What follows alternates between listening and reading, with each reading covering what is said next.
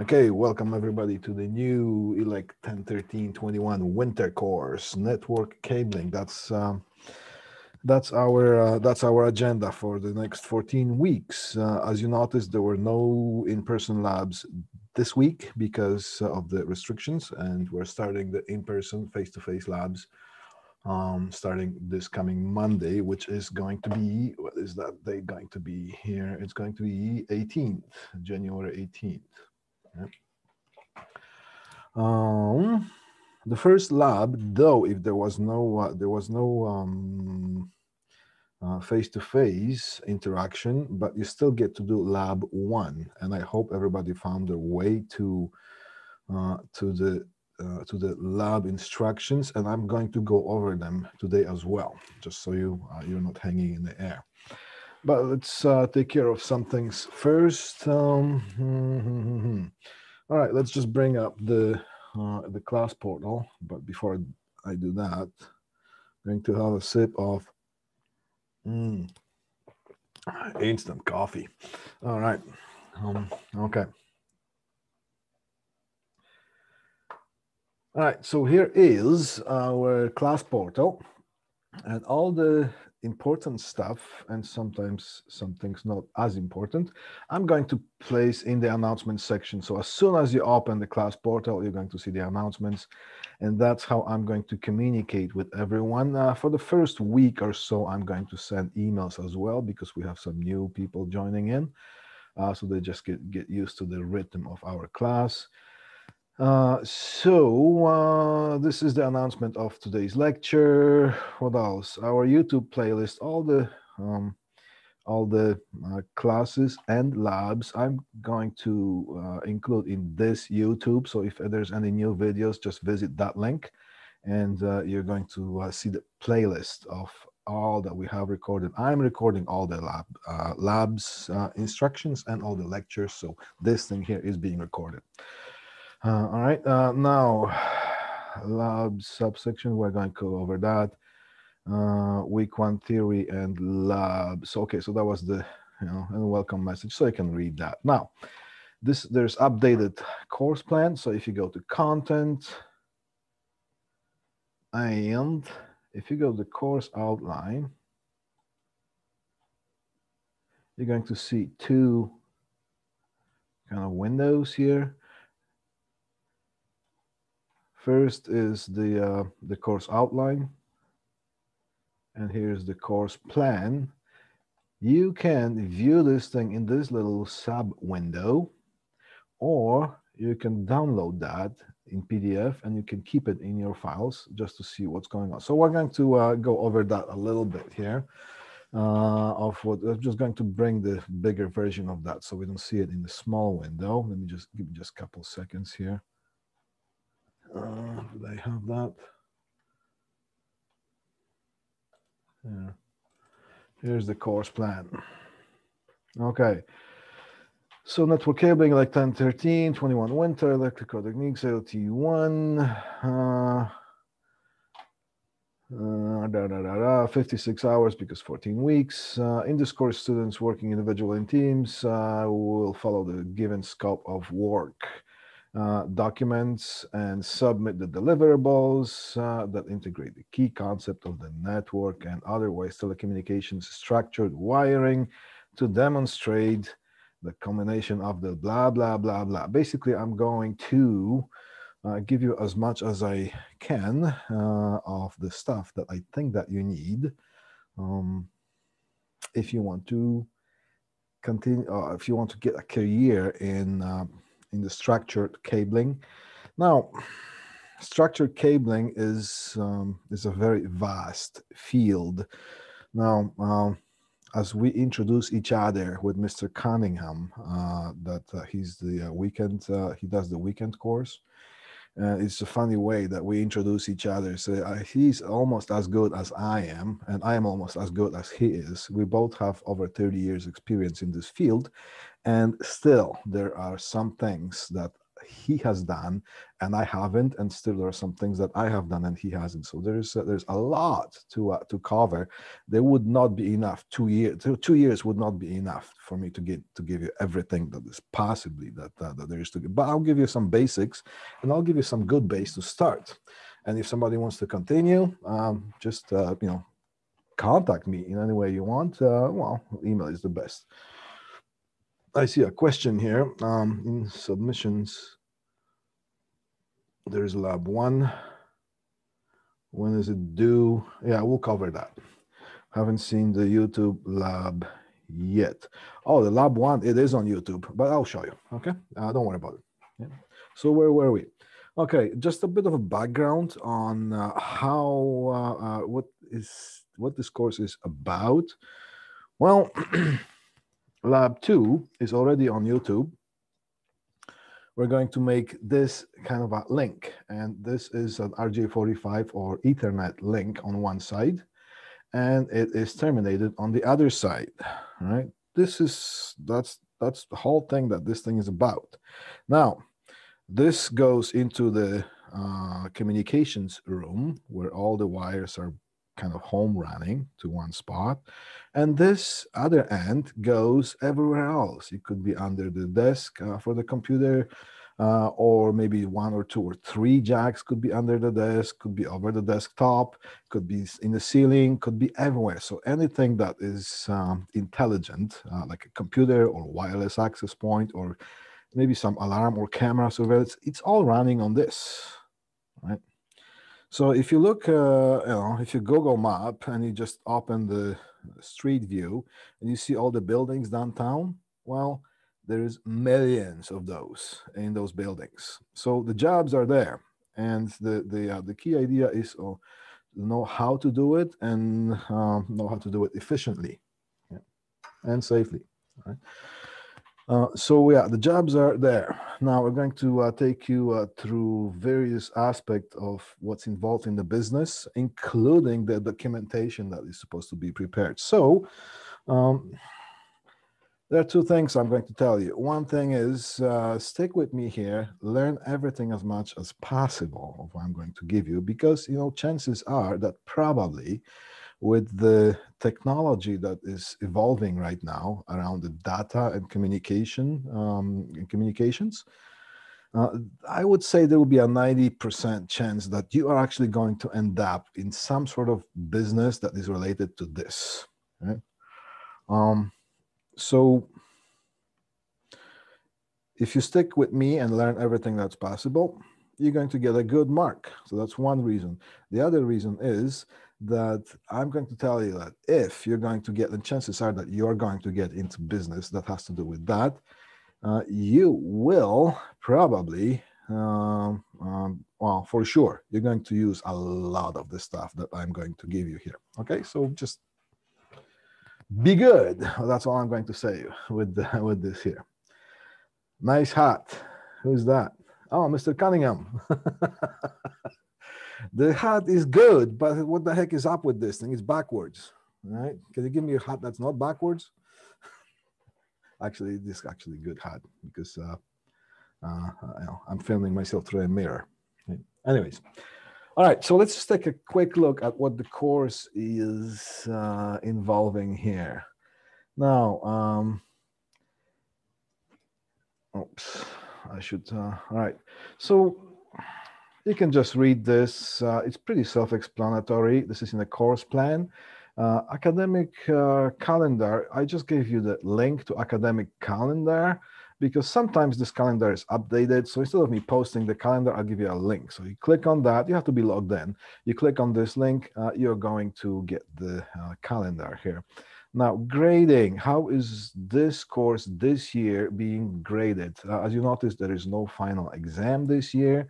However, the tests are going to be instead of two quizzes and two tests and final exam, as it was in the past years, we're going to have four tests. Okay, we're going to have 10 labs.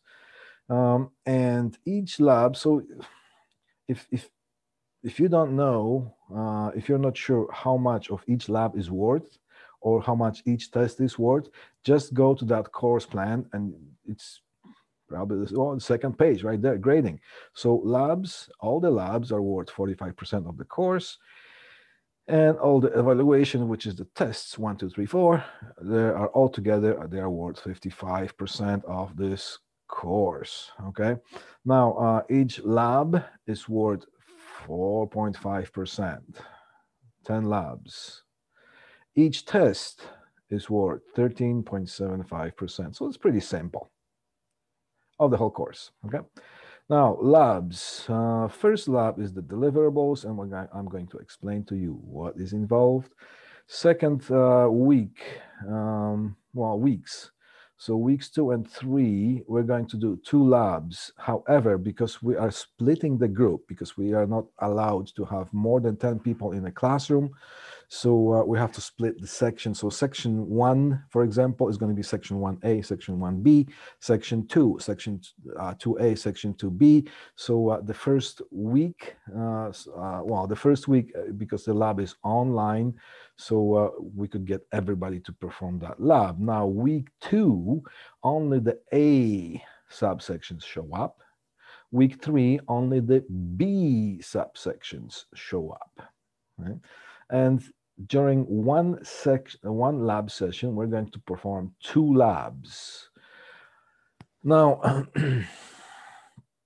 because the labs are quite straightforward, the previous years, uh, uh, a lot of people were finishing them uh, ahead of time, but that was including also the demonstration that I had to do before the lab starts. So that would be, you know, 20 minutes to half an hour sometimes. Okay?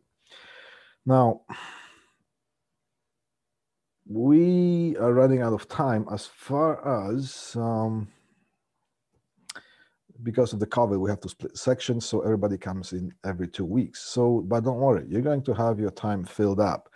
Because, for example, and Mr. Cunningham, you're going to laugh at me, but that's okay. I'll take it. if you notice the first lab that I'm talking about, I'm talking about uh, how to terminate uh, Cat5e jack. Yeah. Talking about terminating Cat5e jack. And I'm talking about it for about uh, an hour and 20 minutes. So, uh, well, this is just the first lab demonstration I'm giving you. It's a bit longer because uh, uh, I'm explaining some basics that have to do with something that's called insulation displacement connection. Uh, so the next consecutive lab, I'm not going to have to explain all that. So we're going to, you have to watch the first one. Just get a good coffee and, uh, and, uh, and, and just go through it. There's a lot of valuable information that you are going to use for sure. Uh, uh, in um, in the in, in the field. And that helps you understand everything else. So the next consecutive lab i'm going to do lab three uh, right after this uh, this uh, uh, lecture session. It's going to be much shorter. So don't worry not all the lab demonstrations on youtube are going to be an hour and a half long. It was just the first one. All right uh, okay, so we're going to perform two labs each session. You are going to have to watch those videos that I'm going to, we're going to produce um, in order to be prepared. There is not going to be that much time for me to go through the basics of that lab. Those basics are going to be explained on those videos, on those demonstration videos. Then uh, when you come to class, you're not going to be so green. You will know exactly what you'll be doing and uh, what we instructors are going to do is just going to walk around and do the corrections. Uh, you know, here's this thing, do it that way, not that way, put your hand this way. Um, uh, this is why you do this, this is why you do that. All right, so that's going to be much more efficient. So we're not going to lose the, or lose the time. We're not going to use the time in the beginning of the lab to explain how things are done. All right, but you have to be prepared. You have to watch those labs, uh, lab demonstration. Okay, so um, uh, the first, uh, the first uh, two labs are going. We're going to terminate the jack that was called 110 type of platform, uh, and 110 is type of a punch down system. 110 has nothing to do with any sort of a number. It's just how the platform of the, the, the, way of connecting is uh, is called it's called 110 another way is uh, there for telephone but this is mostly for data 110 uh, for telephones uh, we use in canada we use the bix system bix and in the states most of the time they are using the old old 66 system. Now uh, just notice again the system is named 66 uh, the the punch down system for uh, for data is called 110, and the states is also using 110 for data. For telephones, in the states they're still stuck in the 66 blocks uh, and uh, in canada we're using the bix blocks. We're going to cover both of those platforms. Now uh, then, then the next lab is going to be toolless. So it's also isolation displacement connection except it's uh, the jack is a little bit different. You do not need any additional punch down tools in order to make a connection. The jack is sufficient within itself to make the connection by itself right, so both systems are available on the market, and sometimes you get to deal with this, and sometimes you get to deal with the other. Right now uh, labs four and five, uh, sorry, weeks four and five, we're going to deal with the termination of uh, T568 plug, and this is basically the computer plug. Um, all those, okay? The one that you than what you use for plugging in the computer. Okay, that's the jack. Plug. And the jack is a jack. All right. So the plug goes into the plug into the jack. Just like that. So we will learn how to terminate these properly, and we will learn how to proper terminate these properly, and what these guys are about, and what to watch for, and how to troubleshoot those damn things. All right. Okay. Uh, let's keep going with the introductions. Um, now, then we're going to uh, uh, learn how to use different type of connections. There are different type of terminals and terminations. There are insulation displacement termination. There are screw terminals. There are uh, there are compression connectors, and we're going to learn one of those. So if you use, if you learn how to uh, use properly two or three of those, you'll get the idea. And if you get any different type of connector, you'll basically use the same basis of the base of knowledge, and you can just apply it in a different way as far as the connector is uh, concerned. Okay. Now, week six, uh, that is the family day. All right, Monday is the family day, and since uh, section one and two, I think, uh, are um, uh, are on Monday, uh, we won't be able to accommodate all of us. So I just made an open lab, and all, during the open lab, um, you basically look at this lab schedule, and if you have any labs that you have to make up, just uh, you can make up those labs during those open lab sessions. Okay. Uh, and you can join any section, providing that uh, you need to uh, send us an email and uh, um, how do you know where we are? Email. If you look at the course portal, over here, uh, in the beginning here, you see the instructors. Mr. Bak is me, and Mr. Carl Crouch, and Mr. Tim Schisler um, that's the uh, that's the emails. You can just email us and let us know that you're coming okay? Because we need to make sure that we have no more than 10 people attending the labs. Okay? all right keep going here. Where are we? Here's my pdf here's my lab here. Then um, lab six, week seven and eight, uh, I have designed that, uh, decided that basically we're going to do that one lab during that week. We're going to terminate 25 pair cable onto a BIX uh, platform. And that lab usually takes a little bit longer. So uh, we have designated all two hours for that lab. Okay. Now, uh, then we're going to terminate the patch panel. We're going to learn about the coaxial cable, terminate that. Uh, and then we'll go do with the optical fiber, fiber optics. And we are going to demonstrate how mechanical splice is done and what the, what's the idea behind that. And also we're going to uh, demonstrate uh, what the fusion splice is about and what's the, uh, how to do this, okay? Now, uh, that's as far as the labs and weeks 13 and 14. Uh, that's going to be open lab again. So the whole two weeks reserved for the open labs. Uh, my uh, advice to you is, uh, even though you're going to have open labs so you can make up the labs, uh, please do not reserve those uh, open lab sessions. Do not plan to have those labs done in the open labs because there's always something that happens.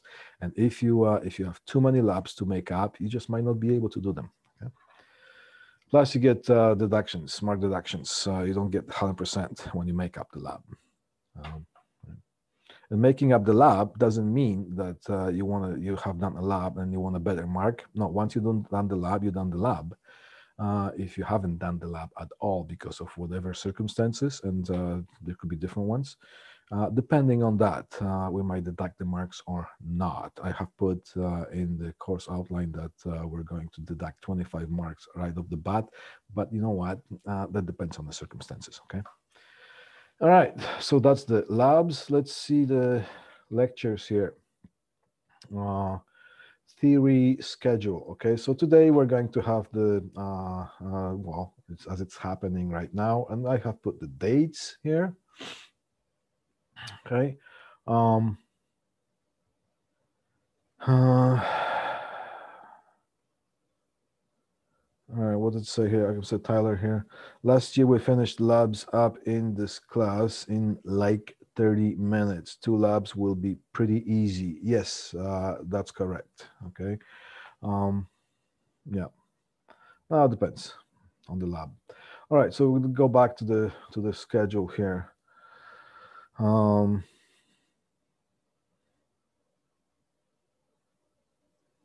would would getting wisdom teeth removed be an excuse? I don't know. Talk to me after you have the wisdom teeth removed. See how smart you are then. All right. Um, I have done. I have. I've had them removed. Okay, and I'm still pretty smart. That's what my mom tells me. Anyways, uh, okay. So uh, the next uh, week two. Okay, so deliverables is week one. So we're going to cover this a little bit of a safety thing and the deliverables. We're going to cover some uh, ideas of what uh, was the idea behind that.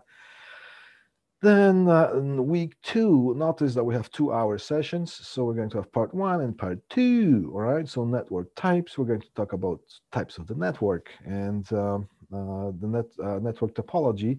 And that's what's going to, we're going to talk about the topology of the network. So All right.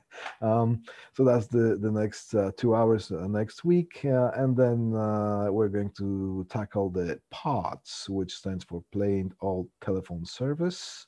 That's the basic service that has to do with the telephone and the 25 pair color concept, 25 pair concept color code. Uh, then we talk about uh, coaxial cable, which is still being used. Uh, cable TV used to be uh, quite popular. Now you have cable modems. So that's the cable that is being installed. Uh, then uh, we will talk about uh, signal routing and multiplexing. Uh, so that's has, it's going to do with this the type of cables that are being used: Ethernet versus coaxial cable, analog versus digital, and how the signals are being combined and uh, shut down the pipes as far as the the cabling goes. So just so you have some sort of idea of of, of uh, of the cables that are being used and the type of signal uh, that you can expect to find. And uh, that will help you with installations, design, and troubleshooting systems. Okay. Now, um, then we're going to have test one, which is going to cover pretty much this, this, this, that, that, and that. So that's the first thing. It looks like we have more topics for test one, but uh, some of the topics are going to be easier than others, okay? Uh, so then uh, after the test one, we're going to start talking about the telephone systems, and we're going to cover the conventional systems that are still being in use, and we're going to talk about uh, VoIP, which is Voice over Internet Protocol. So these will be the digital phones and digital service that is being implemented in the um, you know in the in the industry right now. Then we're going to talk about the PA systems because they're also being used uh, quite widely, and there are PA systems that could be uh, and well, PA systems. Uh, it's, it's animal of its own. Um, you can have uh, anything from theater uh, setup to just good old rock and roll setup to um, ceiling, uh, speakers in the ceiling in your local uh, fast food restaurants um, to school PA systems and whatever else, the public address, um, how those things are being solved. And those are those things are being installed all over the place. It would be a good idea if you know what the idea is behind that, so you could uh, be more employable and more attractive to the potential employers. All right, uh, then uh, we'll talk about the category cabling. Uh, so uh, basically what we're going to talk about what's happening in the cable here, okay? and which cable to use in which circumstance, uh, in which situation, which cable to use because of what type of signal goes through that and uh, with the construction requirements as far as with the construction rules. All right, so um, that. then we'll switch to, uh, we're going to cover a little bit of idea of what's going on with the security systems, fire alarm systems, and the surveillance systems. Uh, if you want to pursue fire, you, there's a separate um, uh, there's a separate program that we have here uh, uh, that you can just go with to do, deal with the fire alarms or fire, basically fire systems, not just the alarms, but uh, that has to fire has fire and safety has to do with uh, uh, fire alarms, extinguishers, fire codes, um, and inspections, and so on and so on, installation and troubleshooting. Okay, uh, but we're going to cover just a little bit, just so I can give you the idea of what's going on uh, with that to see maybe that's something that is for you and maybe something you would like to pursue. And surveillance, uh, surveillance is security cameras. Uh, those are being installed a lot. Uh, so security alarms and surveillance. Uh, one thing I haven't um, included here was access control. That's another uh, that's another um, direction that uh, well there's if you get a job in communications you won't be doing just one thing unless you're hired by some huge company like rogers or bell. There's a better chance that uh, you're going to be doing uh, specific one thing or, or your, your duties are going to be narrowed to doing one thing for a longer time and then maybe you can requalify to do something else. But if you uh, if you get uh, hi yourself hired by another communications company, uh, you're going to have to deal with pretty much all kinds of systems, uh, not just one type of systems. Okay, so I'm going to try to give you as much as I can when it comes to that. Uh, all right. Then we're going to talk about the cabling infrastructure concepts. Um, well, it's a glorified name for wire pulling. There is whole science to so-called wire pulling it's cable installations. Um, well, what can I tell you about this? Just by concentrating on that, if you're really good at installing wires, running that in the walls, in the ceiling, in the floors, terminating, and uh, and making things look nice and neat, you can spend your whole career doing just that, and you can make pretty good money. Okay? Um, and then uh, we'll go over some tools and equipment that were being uh, that is going to be that is going to be used in uh, that is used in the industry. So just so you know what uh, what you're dealing with. Uh, then devices and techniques. Uh, devices and techniques we'll go over some sort of um, well many devices that are being used. For example uh, what happens if you uh, uh, if you go over the length limit of installing a copper cabling? What do you have available so you can make it work without having to reinstall uh, the new wire? Sometimes you can and sometimes you cannot because well if you pull another wire it's going to be just as long as the previous one. So uh, uh, this type of thing um, mm, and we'll we'll cover different type of devices that are being used in the industry currently okay And then we'll go over some cable types, uh, which cable is being used for what, and uh, where you can and have to install a certain type of cable, um, and things like that. All right, so that's basically the scope of uh, of the whole program. Now let's see here. Um, other than making up the lab in the open lab sessions, can the student attend another session during the same week? Well, that would be uh, that would be something that would be called extenuating circumstances. If you really, really something really happens in your life, then uh, we'll try to uh, accommodate that. Just keep in mind, uh, one uh, at one any given time right now because of the COVID restrictions, we are allowed to have no more than 10 people in the classroom.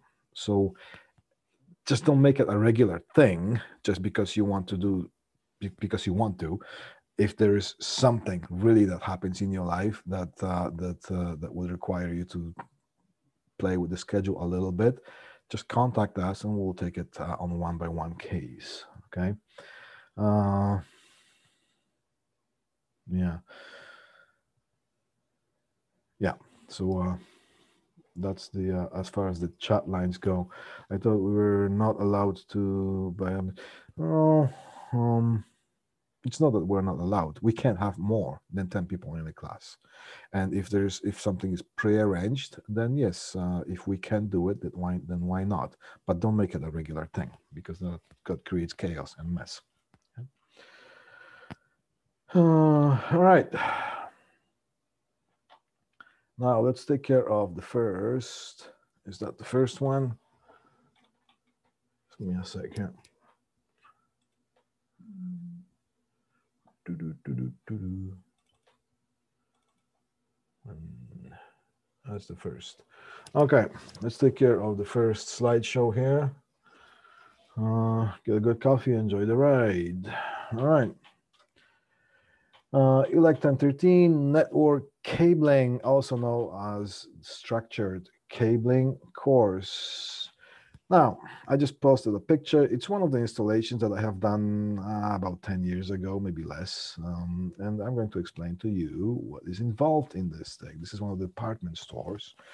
Uh, what do we see in the background? We see one, two, three grommets out of which uh, you can see bundles of wires coming out. Now, those three grommets were specified by the contractor, uh, um, which kind of cables are supposed to be coming out of those grommets, and they had to be pulled inside the wall behind that rack in certain way, and they have to be installed that way, okay?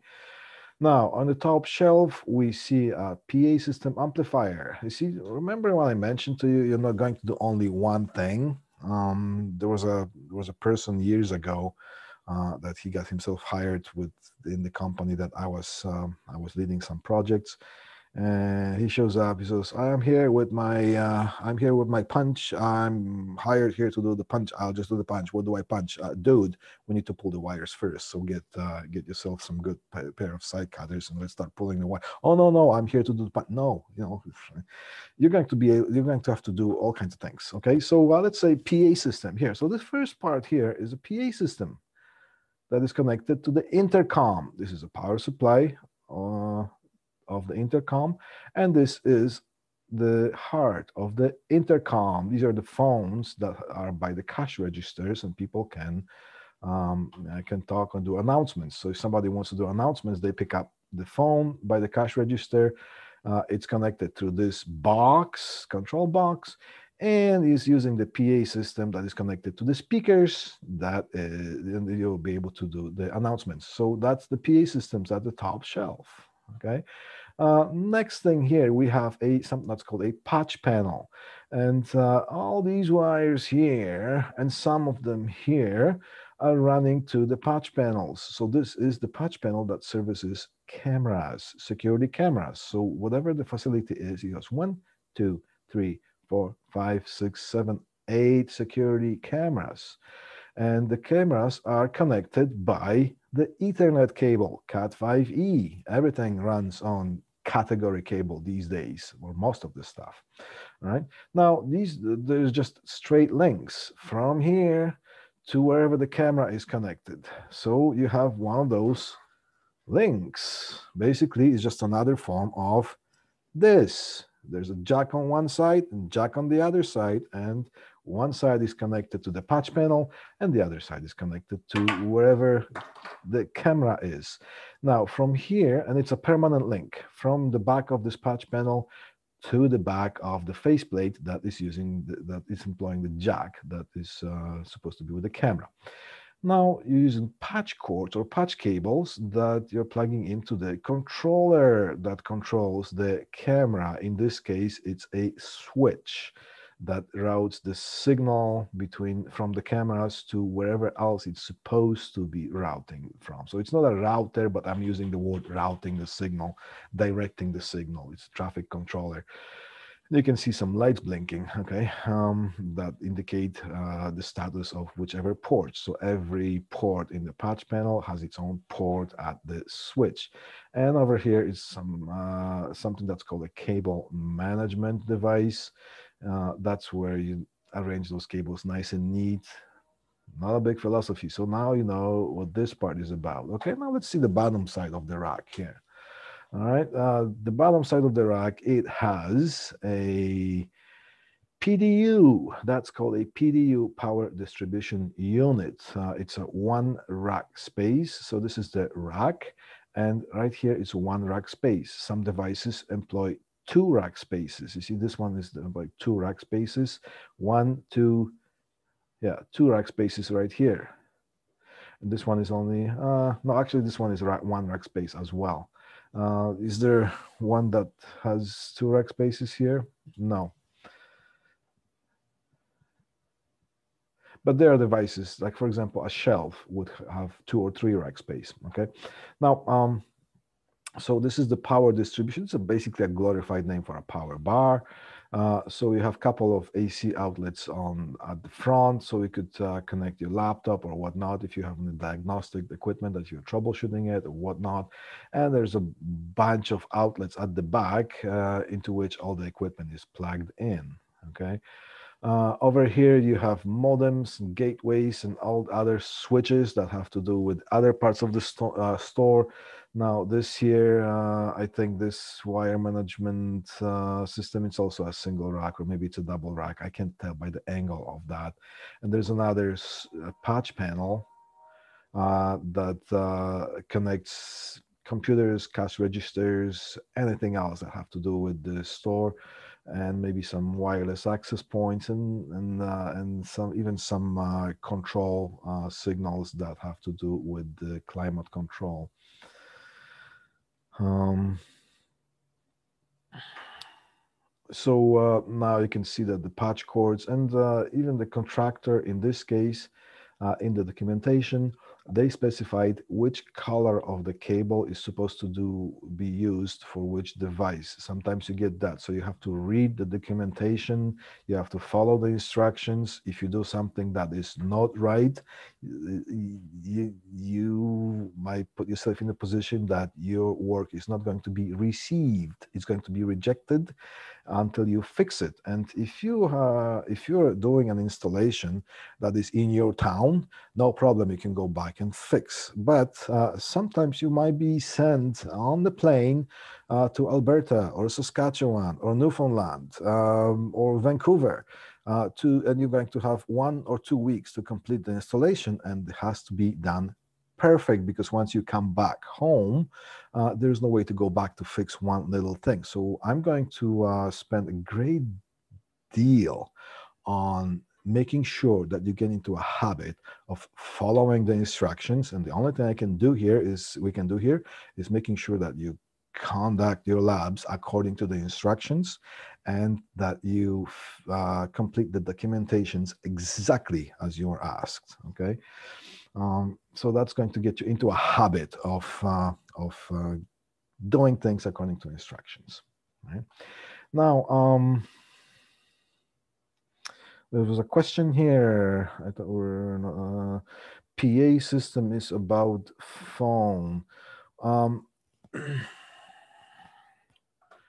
PA system quite often is interfaced with telephone system. So in the building or facility, you can have a telephone system that basically takes care of the phone calls and communications. But quite often you can see people picking up the phone, punching couple buttons, and then you can hear the sound through the speaker, beep, and then you can uh, do the announcement.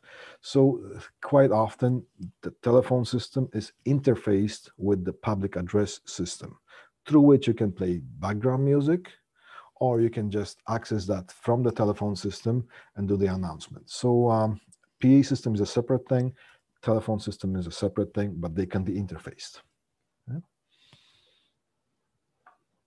Okay, next slide. Structured cabling. Let's get some, uh, oh, you're welcome. Let's get some uh, definitions here. Structured cabling is a planned cabling system which systematically lays out the wiring and wire management necessary for communications, including voice, data, and video. Here's the difference between you are in, you installing or someone installing something in the basement that is going to be cool and impress the neighbors and being yourself getting yourself hired so you can do uh, things and install things and devices on the commercial level. Okay? That's all I'm going to say about that. Now, this is a real picture. Did I say planned cabling system, which systematically lays out the wire and wire management? We'll take a look at this. Does it look like it was planned and systematic? There's nothing that is planned about that. There's nothing that is systematic about that. This is um, a picture of an IDF. IDF stands for uh, Intermediate Distribution Frame in one of the huge department stores. Yes, I'm going to be posting those slides on FOL. Yeah, yeah. Um, in some cases, you're going to be put in a situation that you're going to have to work with this. You're going to be called for a service call that uh, you need to fix something that is not working. Well, if you were just, if that was the first day on the job, I mean, and you come up to something like this, I don't know, you probably would just turn around and go say, like, bye, right? Uh, but if you learn how to do things properly and structurally, yes, you're not going to be very happy to see something like that, but you will know what to look for because you have done it before in a structured way. So sometimes you're going to see nicely and neatly laid out cabling, and sometimes you're going to see something like this. And still, if you get into something like this, you will be able to sort this out, find what the problem is, and then fix it, close it up, and get the manager of whatever the facility is to sign that um, you have done the job. They make scissors for this. yeah. All right. Now, here's another example of structured wiring. Uh, this is, uh, I took a picture of one of the huge facilities somewhere in GTA. I can't tell you where that is not a big secret, but uh, just in case. Uh, this is a telephone system wiring using something that's called a 66 system that was uh, used in 60s, 70s, 80s, and right now in the States. Nothing against the States, but somehow they prefer still using the 66 blocks. Now, if you employ the BIX blocks, uh, which is basically a made in Canada system, uh, you will be able to solve this whole routing of the telephone wiring in um, maybe by using a quarter of the space. Now, because it was done a long time ago, it was installed, it would be just a huge job to convert that into the big system. So it's just left alone there. So yes, um, uh, if you would be using a new system, um, you would not be using the 66 blocks in on this kind of scale, right? Uh, however, sometimes when you get contracts from the companies from the states, you will be sent those type of devices, connection devices, or wire routing devices, or panels to connect telephone wires.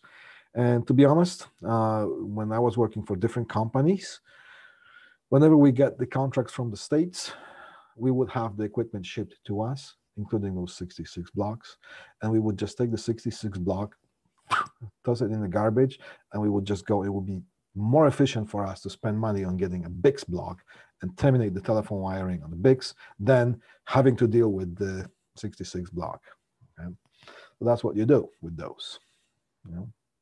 But if you have uh, uh, if you have a 66 block installed in some department store and you have to do a service call, at least you will know after this course, you will know how to approach that.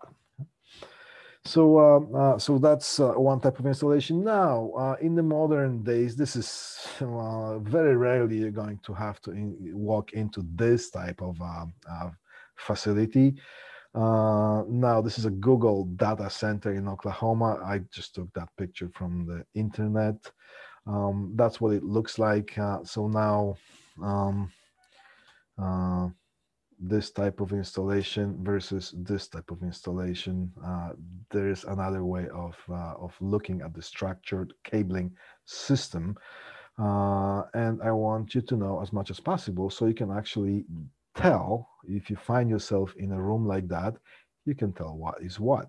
And if you somebody is asking you to troubleshoot something or find something and do something with it, uh, I want you to know what they're talking about. Okay? Now, safety, safety, safety. Uh, well, we have gone through this slide show um, last term, but we're going to go through it again. There's never too much of that. Uh, there's always something you will carry out. And if there's one thing you will carry out that's going to save your life, then my job is done. So let's just go quickly through that. And we're going to take a quick five minute or 10 minute break. And we're going to uh, continue with the second hour. Okay, so safety accidents, five most common reasons for accidents, uh, five reasons. One, overexertion. Okay, a different color cables for different types of cables on the colors just for the cable management. Uh, okay, I'm just to stop here, uh, answer the questions from the chat line. Um, all right, so here's a here's a here's a data cable all right, and this color is blue. You might get uh, the same cable in yellow jacket. You might get the same cable in orange. You might get the same cable in green or what or whatnot. Sometimes it doesn't make a difference other than for the um, organizational purposes. And some contractors might request that all the cables are blue. So basically that all the computers are going to be in blue. But there is that one uh, wireless access point in the ceiling. And they say, you know what, use yellow patch cable uh, from the patch panel onto the switch, just so when we have to go and, and troubleshoot that, we don't have to look for that. It's going to be that yellow cable, things like that. Okay. And sometimes, uh, sometimes it's just that. But when it comes to fiber optics, uh, there are different color cables uh, or jacketing that signify different type of cables as well. So there is no one tiered answer for that. Okay? Depends, uh, depends on what you're dealing with. Okay. All right. Uh, overexertion, uh, workplace injuries, number one cause. If you're tired, right? causes uh, even light loads such as books, stacks of paper, or files can cause injury to your back, neck, and shoulders if you don't use proper techniques, actions associated with that lifting, pushing, pulling, holding, bending, crawling, reaching, and kneeling. Okay, how to prevent that? Training, uh, safety equipment, and use caution. Okay, you don't want to be a guy or girl using that wonderful facility that uh, the local hospitals has to offer. Okay. Uh, now, uh, number two reason, uh, slips, falls, and uh, trips, uh, in, leading cause of disabling workplace injuries. Causes for that. Well, desk or file drawers can be left open. Somebody can trip on that. That's office environment. using a chair to reach objects or as opposed to a ladder. Loose electrical cords or wires, spills, wet floors, debris, and ice. Prevention. Clean up spills immediately. If a spill can be cleaned up right away, place a wet floor. Warning signs for workers. Keep walkways and hallways free of debris, clutter, and obstacles. Uh, keep filing cabinets and desks drawers shut when they are not in use. Cover cables, cords in walkways. Uh, replace burnt or burnt out light bulbs immediately. If there's a light bulb that is burnt out, uh, people can see where they're going. Uh, chances of them getting into an accident can be uh, can increase. Uh, consider installing abrasive floor mats for repealing worn, for replacing worn flooring. Encourage workers to wear comfortable, properly fitted shoes. Okay. So here is uh, the case on the left-hand side, and here's the case on the right-hand side. Uh, think about which one is more could be uh, could create more chances for an accident. Okay, uh, poor housekeeping. Uh, not it's not just a mess. Poor housekeeping is creating dangers or is creating hazards. Poor housekeeping can contribute to accidents by hiding hazards that can cause injuries. Effective housekeeping helps eliminate workplace hazards and promotes a safer and more efficient work environment. Effective housekeeping at work benefits, uh, well, fewer accidents by creating an orderly, clutter-free, spill-free work environment, decreased fire hazards, reduced exposure to hazardous substances, improved control of tools and materials, better hygienic conditions leading to improved health. That's a good one right now. Uh, more effective use of space, less janitorial work, and improved morale. Uh, basically, you could, could, be happier working in a nice and clean environment. All right. Um, effective housekeeping, cleaning up during the shift. Now, uh, when it comes to cleaning up, uh, I'm going to actually deduct marks if you leave your house your house. No i'm not going to go to your house. If you leave your workspace cluttered because you know what? I'm going to have to clean that. And if i don't uh, get you to clean up your workspace as you leave the lab then you're going to get to a habit of leaving your space cluttered. And once you get hired your boss is going to get mad. I'm going to deduct marks. Your boss is going to deduct you. Okay? Well okay uh, day-to-day cleanup, waste disposal, removal of unsafe materials, inspection to ensure the cleanup is complete. All right, so uh, uh, the stuff that's in red on the bottom picture here, that's, you know what, uh, it, it, actually says that it's a wrong way. That's wrong. It's bad. It's, it's bad. It's mess. Okay. And uh, uh, on the right side, it says the right way because there is no mess. Okay. Um, so now, now you know. Right. Okay. Uh, four, taking shortcuts. Uh, there's that saying, whoever takes shortcuts doesn't sleep at home. Should I say more? Shortcuts can reduce job safety, increase the chase, chance of an injury. Facility managers should reinforce proper procedures for all employees tasks on a regular basis. Make sure the employees are aware of the risks associated with taking shortcuts. Distractions, that's a big one here. Now, not just uh, uh, just a regular distraction here. If your day doesn't start well at home, your worries can carry over to the workplace, and that's a very common uh, reason for distractions. All right. Um, employees can drop their mental guards and pull their focus away from safe work procedures. Accidents often occur when employees are distracted from walking into doors, uh, into tripping over or to tripping over clutter. Okay, prevention, uh, adhering to the facility standards, including quality housekeeping program, consistent uh, ground maintenance, and awareness of your surroundings will prevent you from being distracted at work. Another uh, another big thing is, uh, you see this picture here. Um, uh, you see those guys are using cell phones. Yeah. yeah, he's there. Yeah. What's he driving? Uh, so um, here is the uh, picture of people using cell phones. That's a big one. Okay. um, now, when we uh, when we talk about cell phones, okay, consider this. Oh, got a text. Hold on. See what I just done? Okay, you're just all waiting. There's about almost hundred people there waiting for me. I got a text, and if some if my boss was watching me and say, okay, you know, hold on, guys, I'm gonna answer the text because somebody wants to know if I want to go uh, out after the COVID restrictions are gone.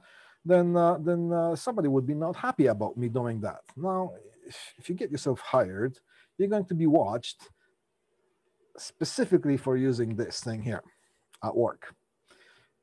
If you use it a lot, uh, your boss is going to find out. Trust me on that. Okay.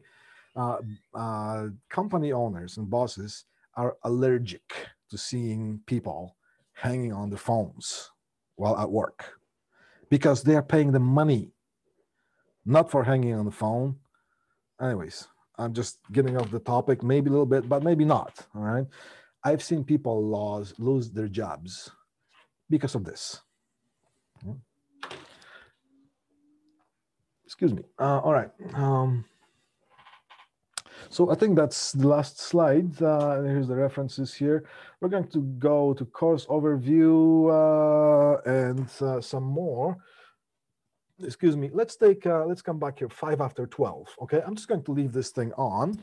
Uh, five after twelve, and let's get some new coffee, and um, uh, I'll meet five after twelve to continue with that. Okay.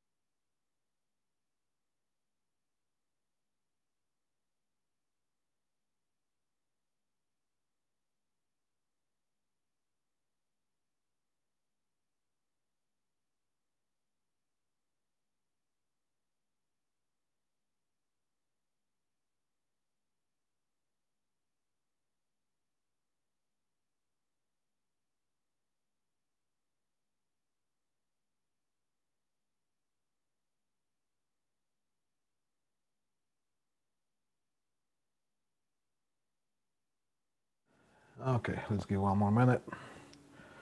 It's 104. I said 5 after 12. I meant 5 after 1, but you know what I meant.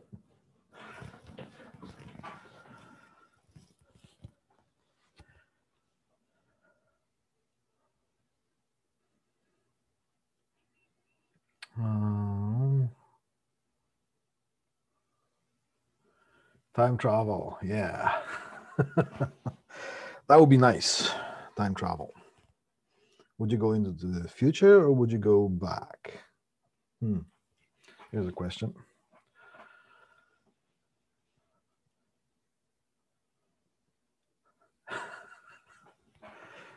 go back.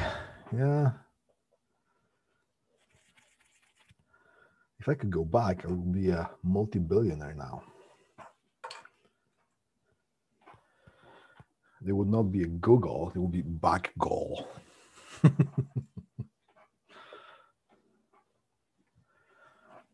All right, five after one.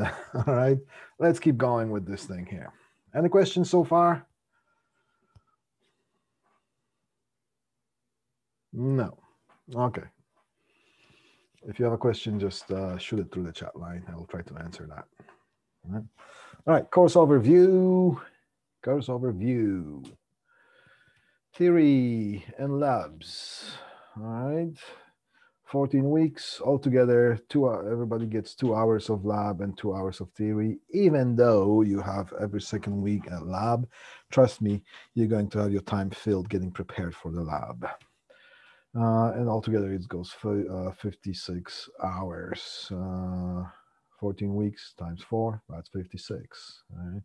Now on the posted notes, I have put a couple of YouTube links that I found uh, that have to do with the type of a career or the type of a job associated with structured cabling, network cabling, and so on. I encourage you to watch those to see. Uh, it's uh, you know I like this guy. He's doing it a uh, pretty good job explaining what this job is about. And uh, as I said, I have uh, over 30 years of experience doing that. He's bang on. Okay. Uh, so watch these two videos. That's going to give you some better idea of uh, how to, uh, uh, uh what this thing is involved, what this thing involves, this structured cabling business kind of a thing. All right. so when you download the PDF version of this, you can just click on that and the link is going to take you there. All right. Uh, now we're going to have bi-weekly face-to-face labs. The F2F is a new term face-to-face, excuse me. Uh, COVID-related implementation, two labs per session. So we're going to take care of two labs. In-class demonstration is going to be minimized. So I'm going to do a lot of uh, video demonstrations uh, to prepare you for the labs. And please watch those videos because if you don't watch those videos that I'm going to do, you're going to be in trouble when you come to class. Right. Uh, now, video demonstrations will be produced, must watch as part of your lab preparation. Weekly lectures must attend. Okay, I'm going to say something here now.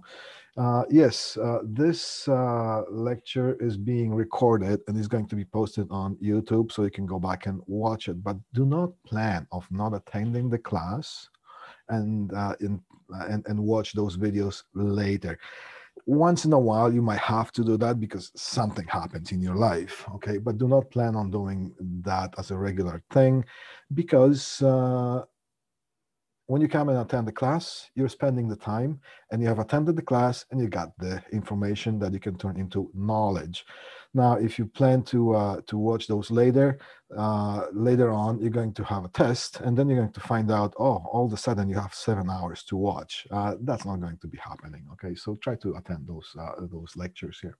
Do it for yourself. You paid you paid the money. Okay, you might as well get the uh, get the product. Okay. Uh, now punctuality with the labs, we have to implement the five minute rule. Okay. Uh, the door will be locked five minute five minutes after the class scheduled time. And i've done it before and i'm pretty consistent with that. And all the other instructions instructors will be as well. Five minutes after the hour the door is locked. You can bang kick and scream and the door is still going to be locked. The reason for that is uh, even though the labs are going to be demonstrated on videos, uh, we're going to have to explain some safety procedures and there's going to be some additional explanation required no matter what. So now if uh, when I do this, everybody comes on time and then we can carry on with the regular schedule. And I'm going to be busy walking around uh, helping you out with the hands-on things that you're doing because you can watch the video a million times, but unless you do this thing hands-on in person, you don't know how to do it. Trust me. Okay, a lot of those things. Uh, so then, if somebody comes late, I have to explain this thing to that person again. And then five minutes later, somebody else is going to come late, and I'm, that's not going to happen. We won't be able to carry on. Okay, and it's not fair to the people who are coming on time. Okay? Now, um, yeah. So that's uh, I just uh, explained this part here. Lecture notes will be posted on FOL after weekly schedule. So uh, I'm quite efficient with posting those these lectures on YouTube. So as soon as this lecture is done, within an hour, usually within half an hour, this thing is going to be available on YouTube. Okay. Uh, blended delivery course. This is this is a blended type of a delivery, but this is not an online course. A significant volume of the content will be introduced verbally, which is I'm talking right now, or kinesthetically, which means hands-on, okay? Uh, please attend all classes and make your own notes as well, okay? Now, what are going to be tested on? It will be tested on everything that is being served to you, okay?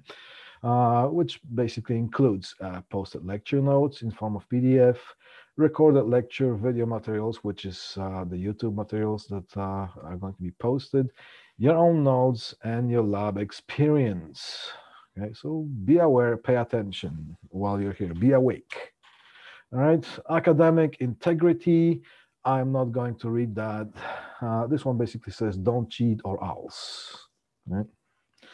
Or else you're going to get uh, hit with academic offense.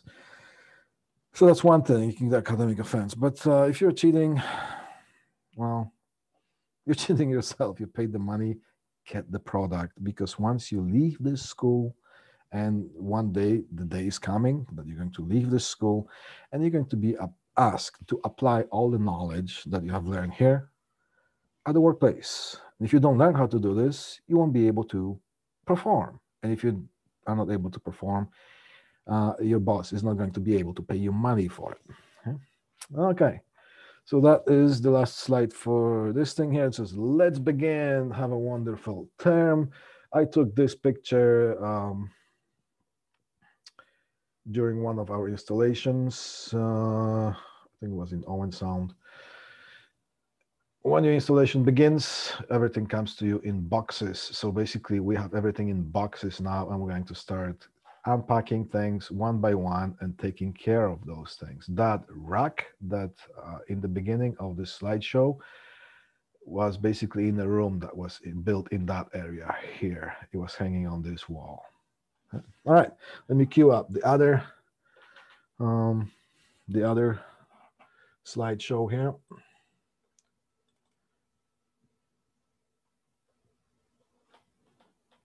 All right. So that was that. That was that rack. So now when you see this, uh, you're not as green. You should be able to tell or somewhat tell of what those parts are. If not, go back and watch this video here. All right, grading. We have taken care of that. Uh, labs grading. Okay, let's um, uh, let's see here. All labs deliverables are due one minute before midnight of the day before your next in-class session unless otherwise specified. So basically what this means, the bottom thing trumps the top one. Okay. When we do the labs on your lab report, I'm going to, and other instructors are going to put a little date in the top right corner that's when the lab submission is due. The labs are going to be submitted electronically, and I'm going to, we're going to mark them electronically, okay?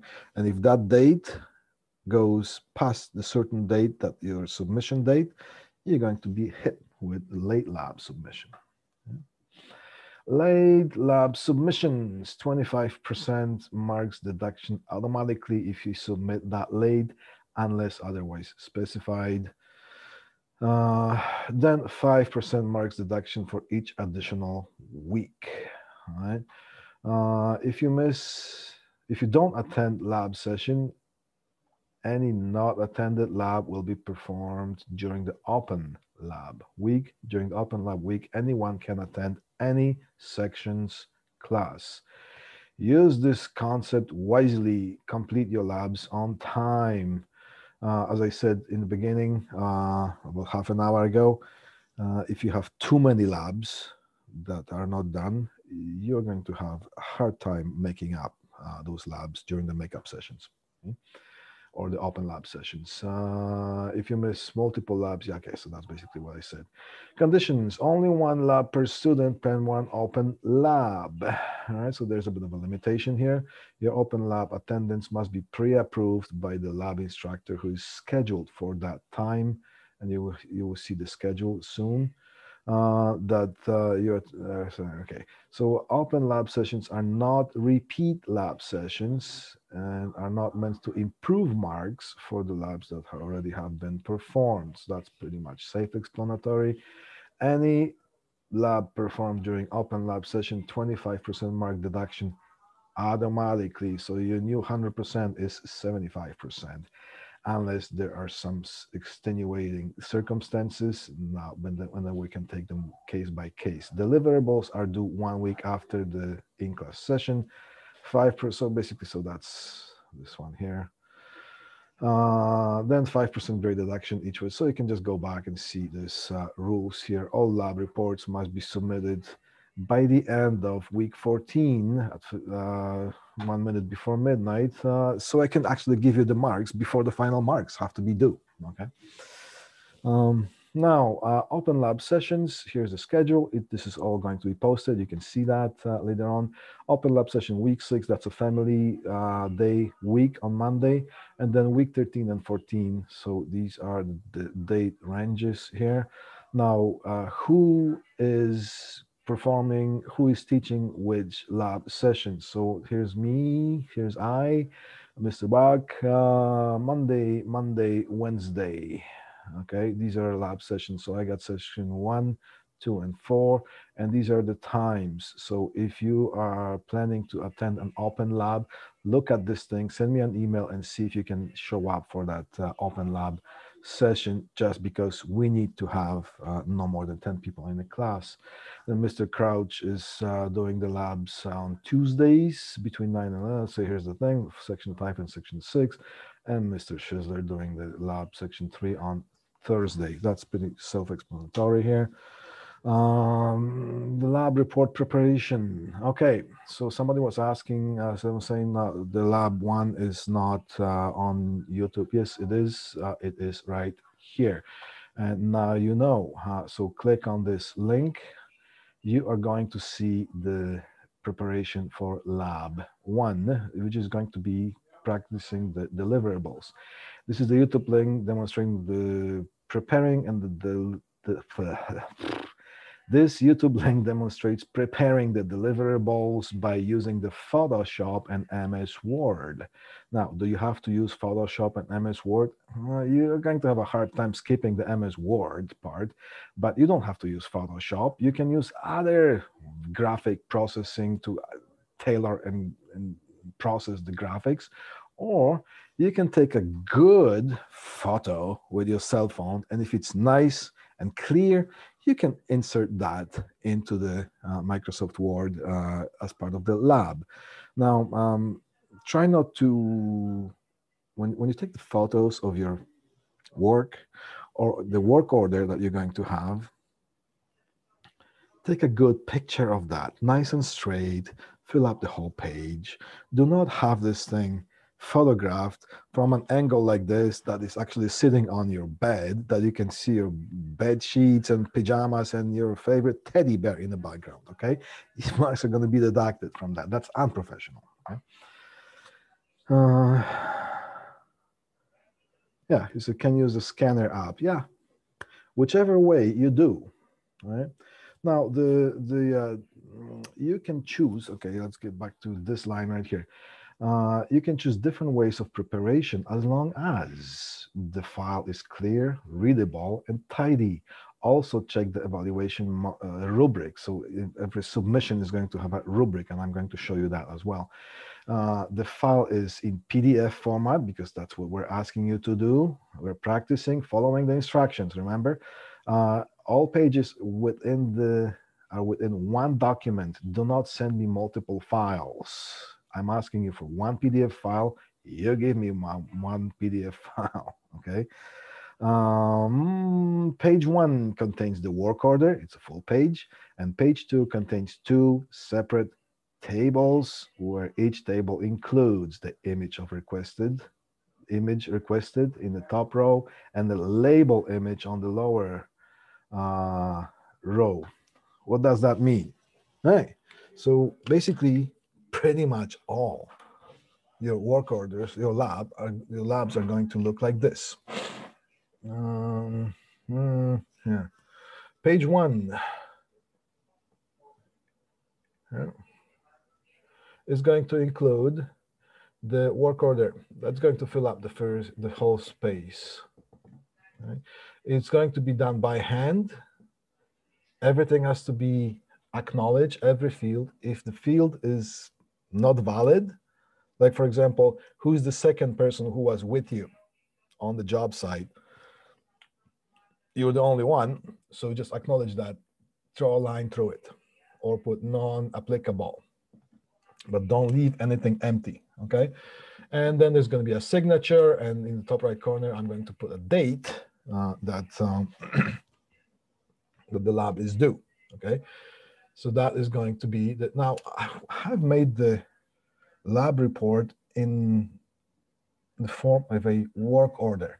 Now, you're going to have different types of work orders and sometimes you're going to have a paper to fill out and photograph and send it to whoever needs to receive that. And uh, quite often you're going to have um, uh, cell phone apps that's where the industry is going now. Is it good or bad? Uh, in some ways, it's efficient, but in some ways, uh, some technicians are complaining about uh, the way some of the apps are organized, but that's the way the world is going. But now we're going to practice on paper here. Uh, so that's the first page, okay? Doesn't matter what is going to be in the future, you are going to be asked to perform as you are told, unless uh, you don't want to get paid, okay? Or unless you want to lose job, your job. Here, okay. Second page. Second page is going to have two tables, and that's going to be in Microsoft Word. First table is going to have one big row on the top and one smaller row on the bottom and the second table, separate table, is going to look just the same. So in the first, in the first table, you're going to present the image that you're going to be asked to present, and there's going to be a certain label of that image. Put that label in the table. Do not create one window and then just put a little text, marks deducted. Follow the procedure. And the second page is going to uh, contain another image that is going to be asked you uh, to uh, ask that you are going to uh, put in there. And you're going to label that all philosophy. Okay, that's all you're going to have to do, but have to do it properly as you're asked to do. Okay, that's our lab. And I have made the lab report in the form to simulate the sort of real world work orders. And we're going to go over that. Okay? So we're going to be practicing the real thing. Now let's see if I can. So we're making a lab report like this after each lab. Yes. Yeah. Okay. Now let me erase that here. You can go back and see it. All right. Now erase and dry. Cool. All right, let's keep going here. Here's, oh, here. Here is what the lab report is going to look like. And let me just kind of exit that here and show you where that is. When you go to the uh, our class portal, go to content, and I'm making myself look like a student now here. And if you go to student items right here, click on that. And you see here labs, lab schedule. And you see here lab work orders. Click on that. There are two work orders for you to download and you can download and print a bunch of them and just have them in your bag, okay? So first one looks like the one that I'm going to show you. And the second one is going to be for one lab when we do the coaxial cable. That's the only different work order because there are some questions that you need to uh, you need to uh, answer uh, that are associated with the coaxial cable here. Okay, so every, all the labs are the first work order. You can download, print a bunch of them, except for that lab that is coaxial cable. Okay. Now let's go over let's go over how the uh, work order looks like here. Where are we? Okay. All right, so that's what the uh, work order looks like. And we're going to go into details because I have magnified some portions of that. That's all to be filled out by hand. So the top part of that is a work order sign off. Okay, it's a, it's a top part of that, just a magnified version so we can, we can explain things.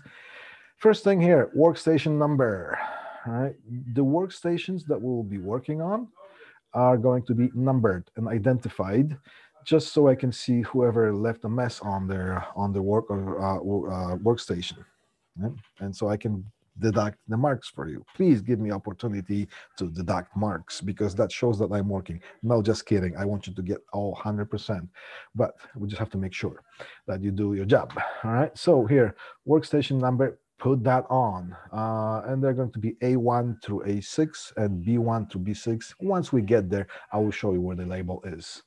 Okay, now this is our course. Uh, does the work order have to be printed? No, it doesn't have to be in color, no. Uh, no.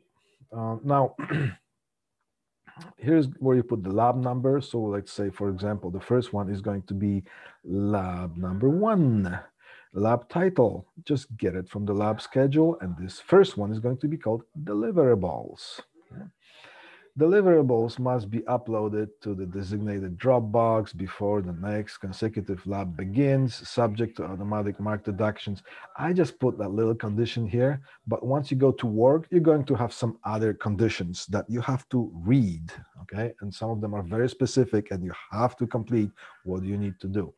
Now, purchase requisition, this number here, you just make up any number and put something there.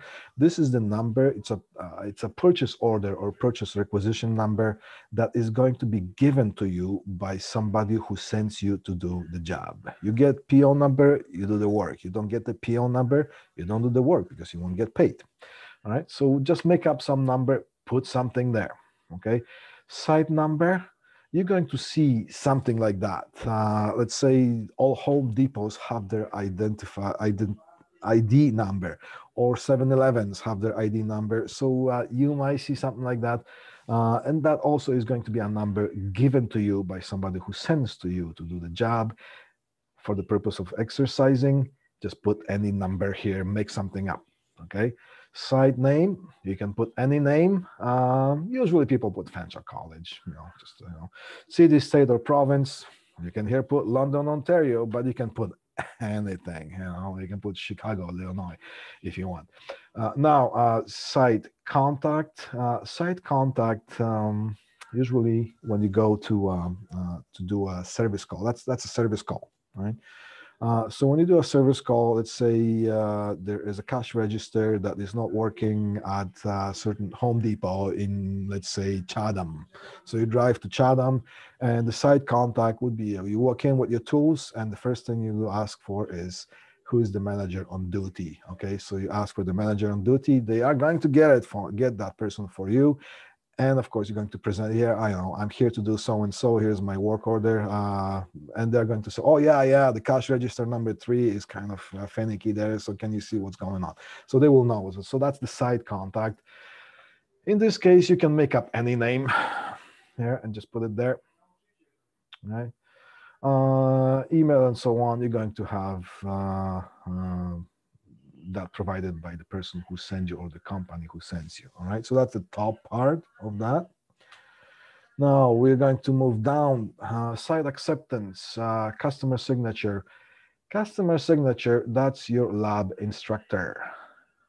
Once you perform the lab, in the real world, the customer signature is that uh, yes, that person was here and the job is complete, and the person is going to sign for you because the company will have to pay for the service call, and if it's not done, they won't pay.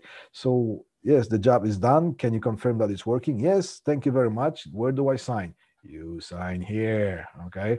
Now it is your responsibility to get that person's signature. I have we have done it in the past that purposely we're trying to forget to sign that work order it is your responsibility to make sure that I sign that.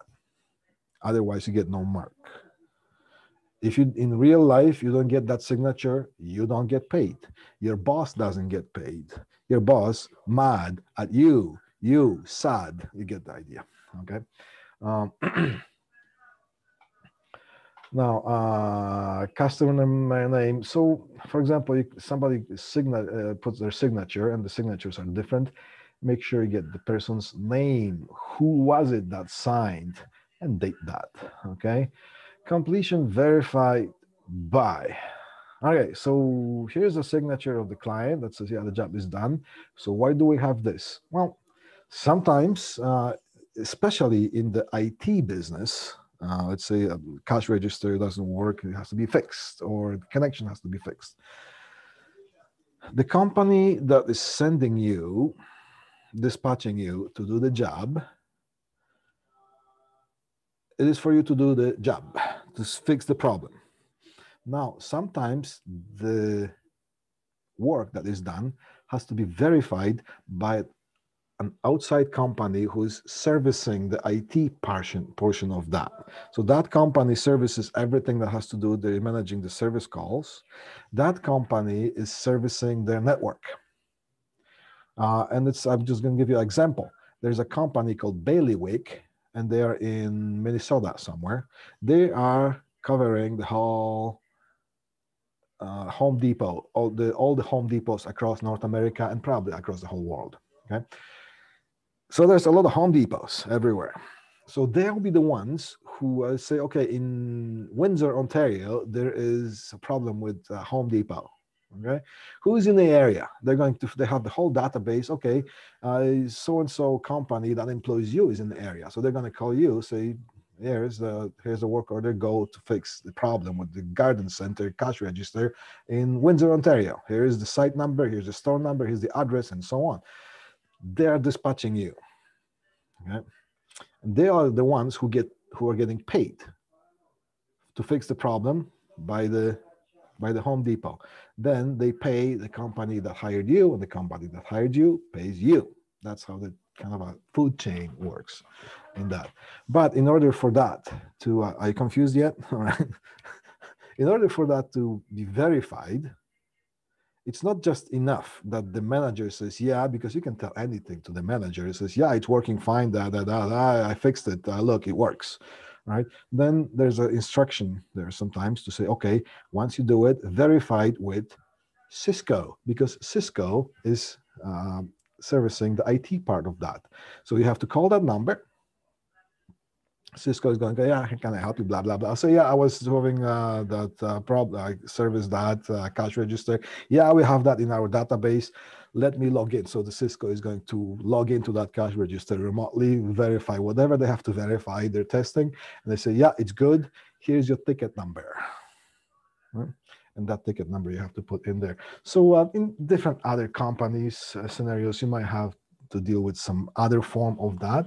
But that's what I mean by saying that. So uh, service company and contact name. So completion verified by outside company You can make up a name and the company, but don't leave it blank.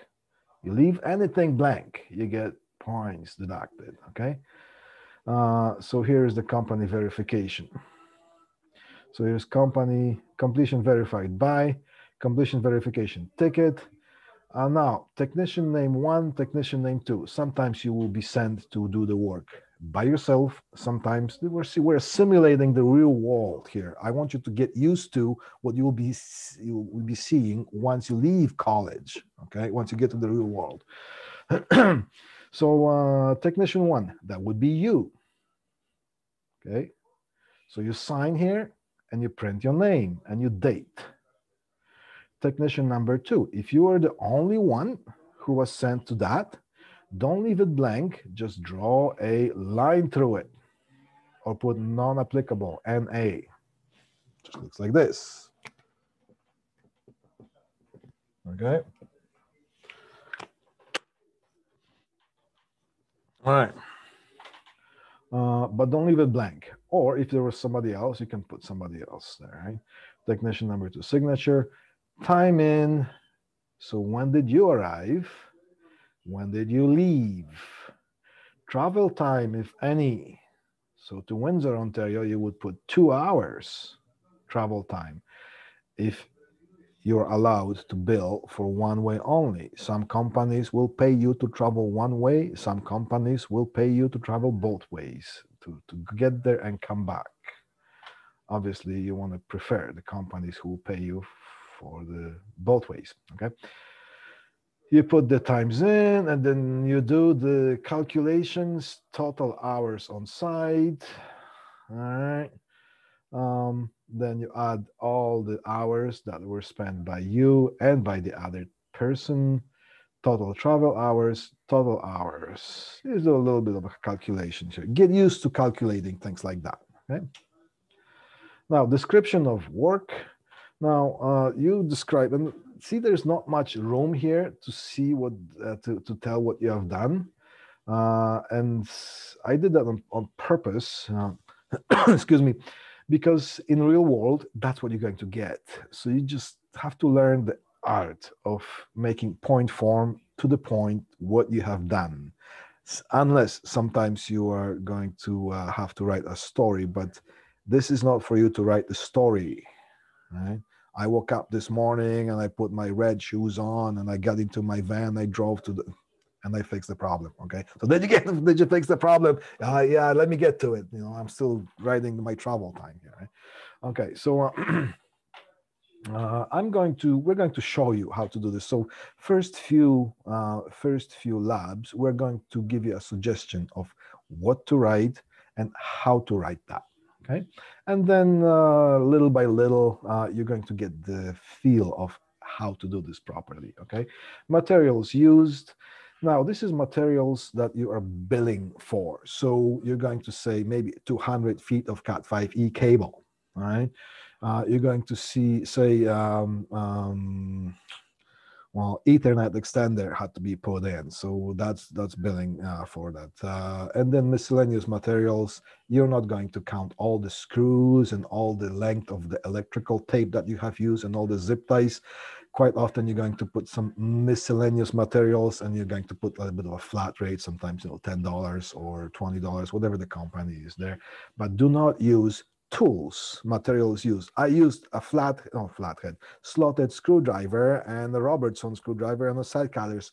Do not you put tools there because you're not billing the client for you using the tools unless it's a specific, specific, very expensive equipment that um, let's you know some of the testers of the test equipment uh, can cost 20 30 40 thousand dollars. And how the companies are paying for they just every time the equipment is used you charge the client. So you just would put a flat rate for using that equipment. We're not going to take care of that here. Uh, we're just going to use the material. So you're going to count a piece of wire. You're not going to write a piece of wire. Uh, i'm going to show you how to write. So if you have few scrap pieces of wire used you're not going to put three feet of cable two feet of cable we're just going to put lot, right? Lot. And then you're going to put 5E cable, right? That means it's a little bit, not but unspecified length, uh, not worth to mention, but still something has to be charged for it. So uh, uh you know, so uh, so that because even though bit by bit, you still the company pays for the materials okay? But usually you would just put like maybe 500 feet of cable uh, 1000 feet of cable 200 feet of cable and then uh, depending on how the company charges. So put the stuff that you actually used that can be built for do not list do not say that you have used a screwdriver or side cutters okay? and uh, now here's a split kind of a thing here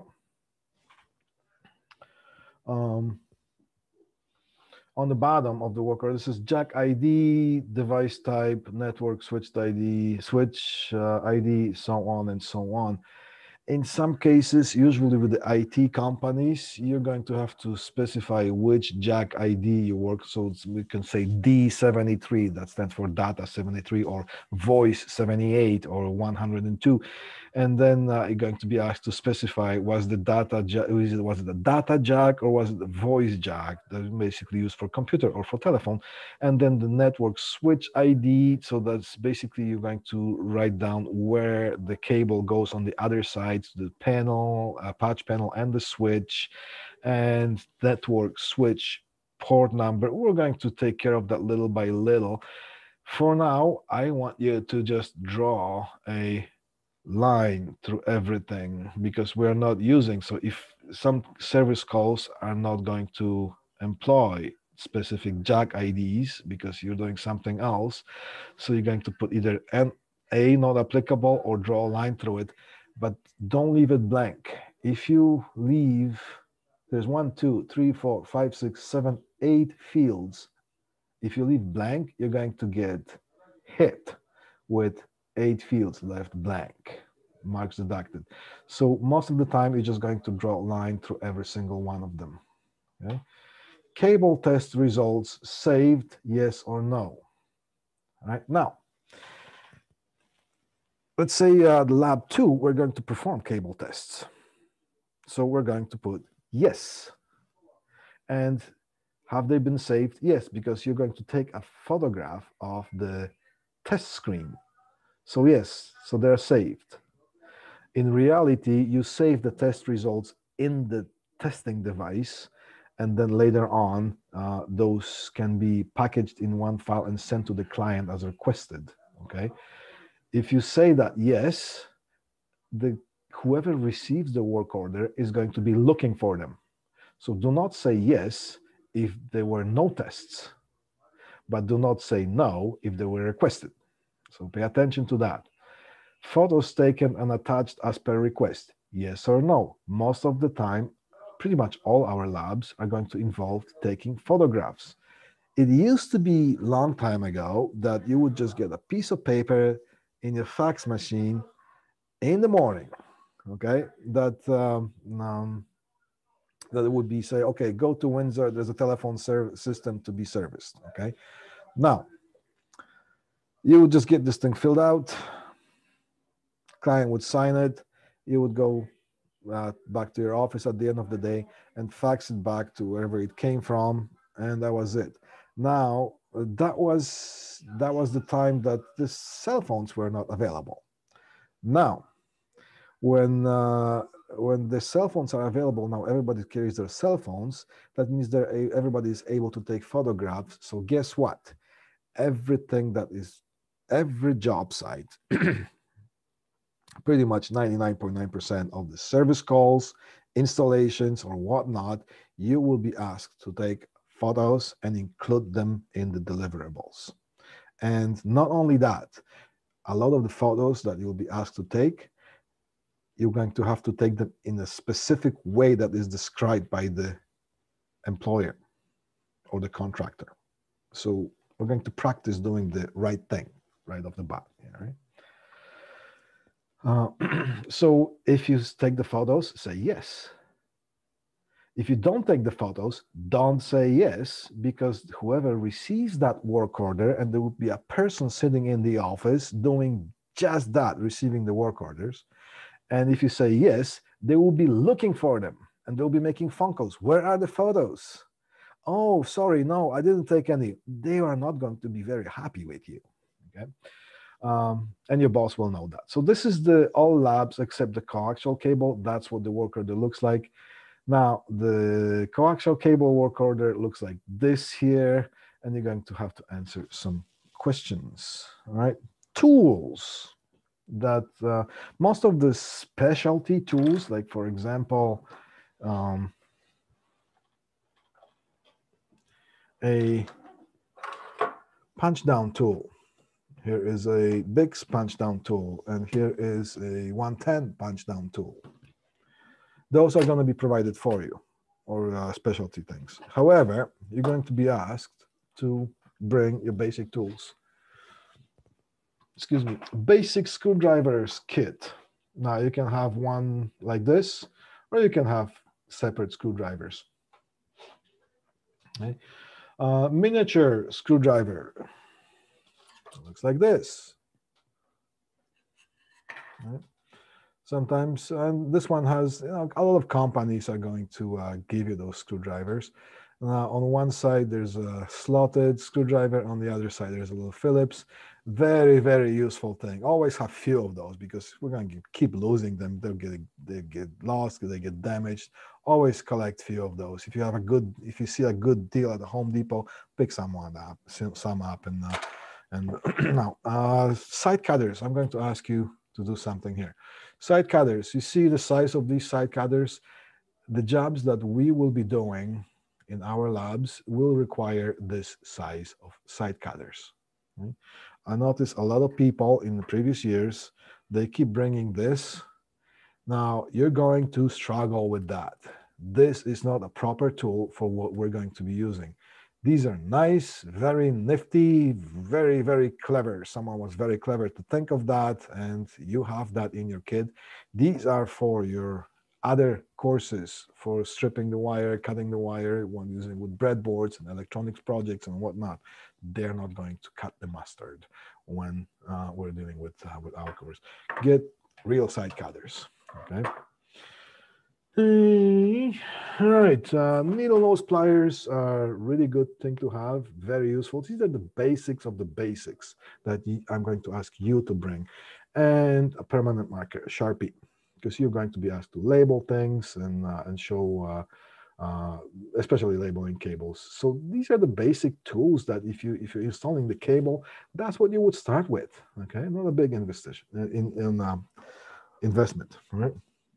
Now, uh, there's a question. If a contractor that is self-employed, if you're a contractor that is self-employed and you would add the gas to the expense into the quoted price. Okay, that's actually, you know what, that's a really good question because quite often um, you're going to have an option whether to be hired on books, which on books means you're hired by the company, you're guaranteed for 40 hours per week and you are basically like being on the salary. So you're part of the team, part of the you're hired on books. You come to office every day, and they guarantee you that they're going to pay you for 40 hours per week. Okay? Now, usually that wage is less than a, a self-employed contractor. When you're self-employed contractor, it's called subcontractor you are going to charge more money, but you're not guaranteed that they're going to call you every day. So some people prefer it this way, some people prefer it that way. If you're a self-employed contractor, you don't have to work with one specific company. You can do the wire installations, but sometimes Bell Canada will call you. Sometimes somebody else will going to call you. Sometimes somebody else is going to call you, and you go, you just work your way uh, through. Now, it says, do you bill for the bill for the gas? Now, you bill for things and you don't bill for things based on how you negotiate the relationship between you and whoever you have contract with. Okay? So uh, that's when you make the most money per hour, uh, because if you can negotiate five dollars more per hour during that five minute conversation with somebody guess how much money you made per that five minutes, right? So uh, so uh, so that's uh, that's that's up to the negotiations between you and whoever you're working with. Okay. Some people say pay for the gas. Some people say no. You're going to uh, include the gas with your HST uh, and whatnot. Blah blah blah. And uh, that's the cost of running business. There are different ways. My advice is get an accountant or some bookkeeper who knows what they're doing as far as keeping your business intact. If you think that you can be a self employed contractor without any knowledge of any financial stuff, you're going to get yourself in huge trouble. Guarantee you that. Okay. It's better to pay some money to some bookkeeper or accountant. They're going to set you up and you're going to get give them the receipts or ask questions. They're going to fill out the income tax and blah, blah, blah, blah.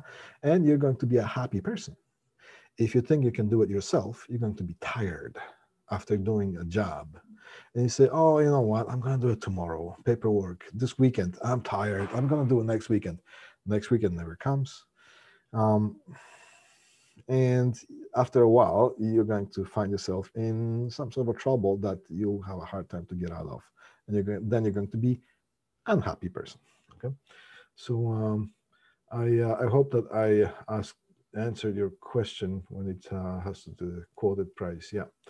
Uh, do we need to report for lab one today? No. Lab one is being done online. Okay? And I'll explain what we're going to do. Uh, where do I, uh, where is the size of the basic screwdriver? You know, if you carry on the screwdrivers that uh, that you had for the uh, for the other class, the um, what do we do?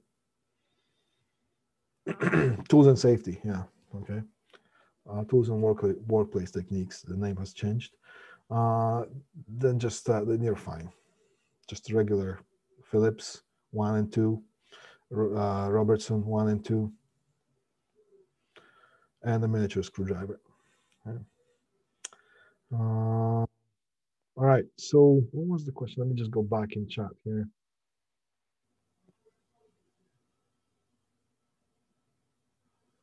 Okay, uh, good question here. Who signs off the customer signature in the lab? Again, the customer signature is your lab instructor. Yeah. Now, because the first one you're doing online, all on your own, obviously you're not going to have anybody to sign for you. Just put your name there, okay? And that's uh, that's going to take care of that. And here's the wonderful ring, phone ring. Uh, I love those musical rings. Let me tell you.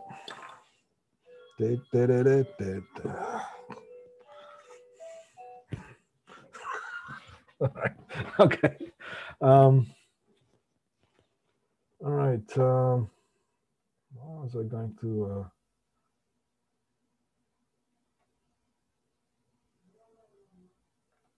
where to buy the tools that uh,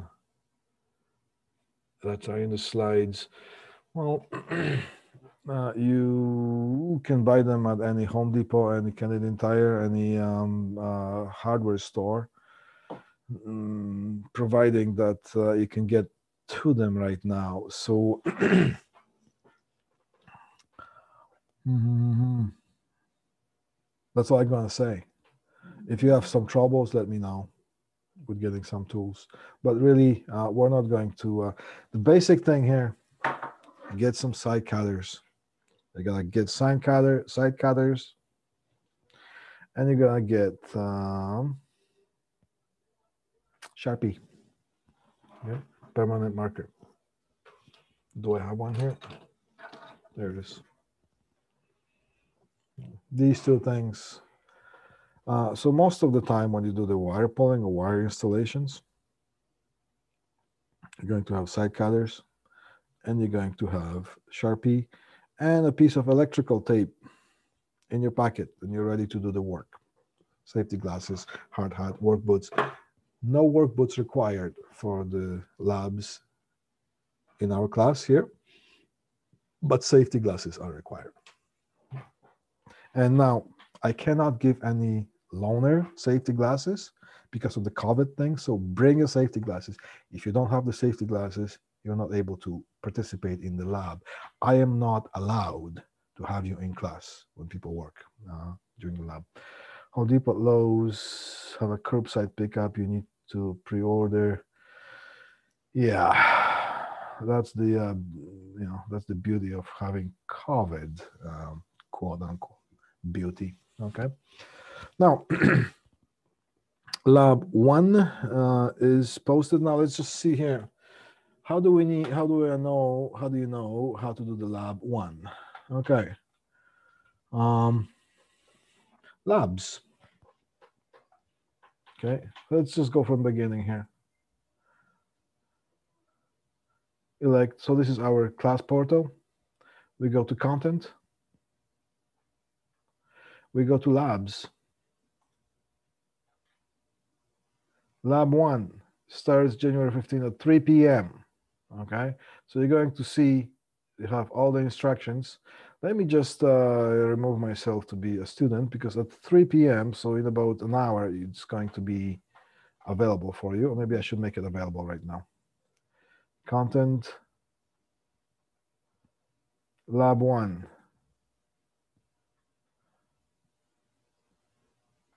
Edit properties in place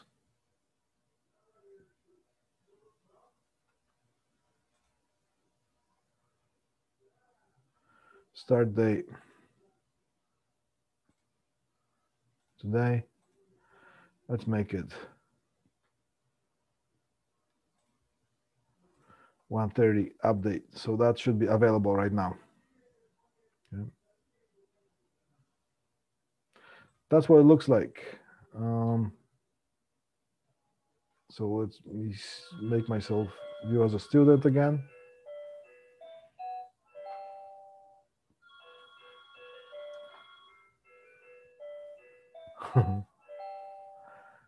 Course outline now. Labs. Okay, so it's available now. You can download that. And you're going to have everything explained step by step. Preparation. Okay, watch this video here. SOW, scope of work da da da da da da da. Now I'm going to see, we're going to see you this week. If you have trouble doing this, now it is very simple thing. We're practicing doing deliverables. So go to, I'm going to summarize this lab. Go to content, student items. Where is it here? Content, come on. labs, blank work orders right here. Print out the blank work order, fill it out by hand. That's one thing. Then what you're going to do is I'm going to ask you to take a picture of anything. Let's say I'm going to take a picture of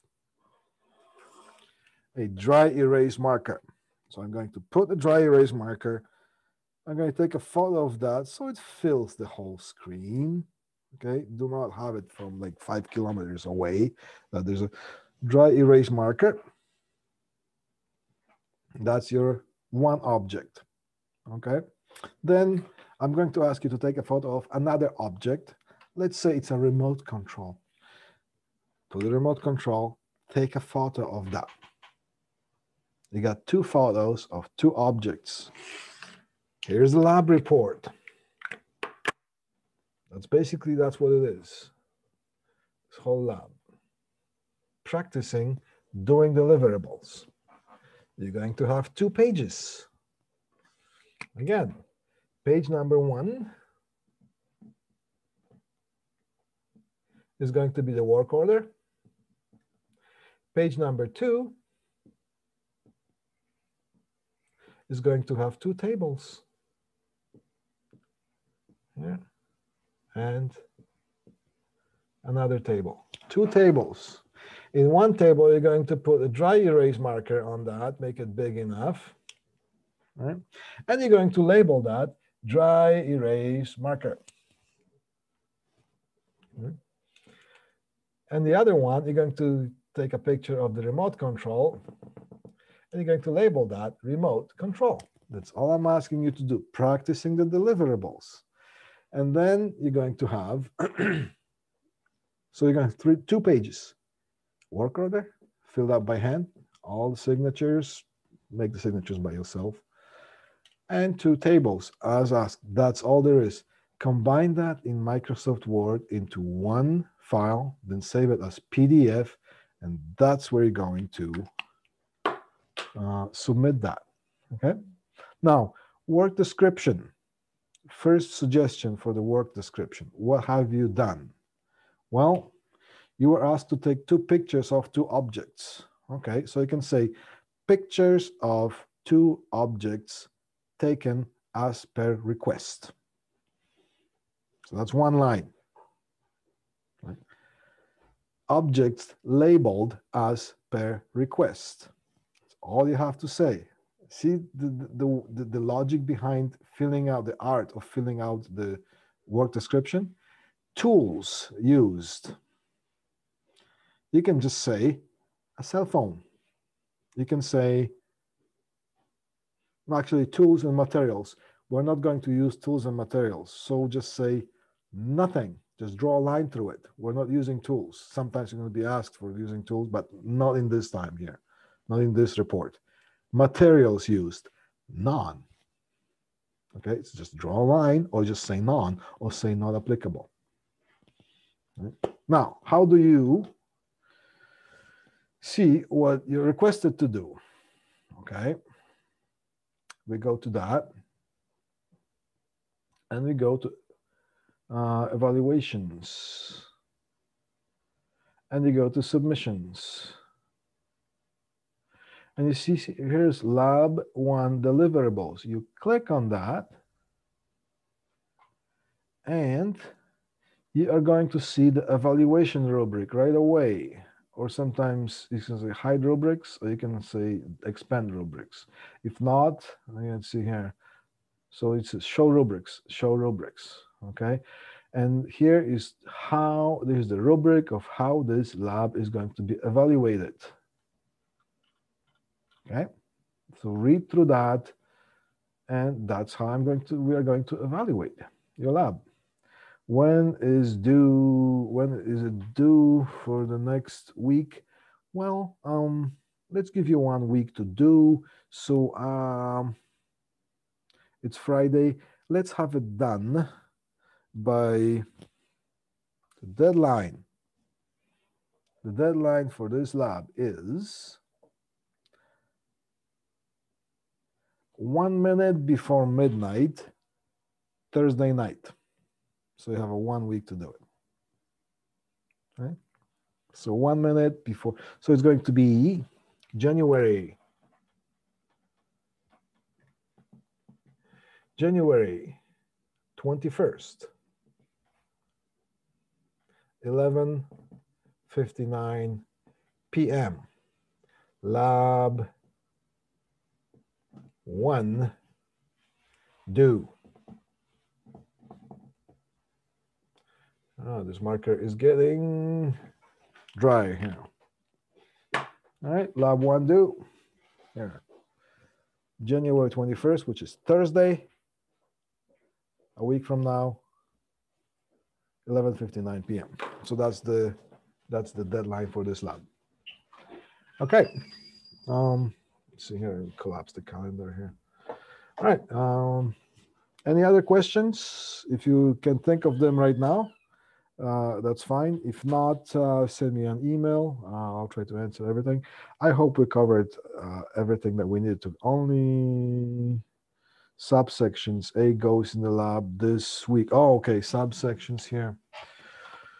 Uh, do we have? Do I have the subsections listed? Yes, we do. Let's go here. Um, there's going to be content, student items, Okay, then uh, let's collapse the work orders, labs, uh, lab schedule right here. Okay, so here you can download that so you can find out which your A or B and whatever section you're scheduled for the day. And at the very last page, you're going to see, um, I'm just gonna zoom in a little bit.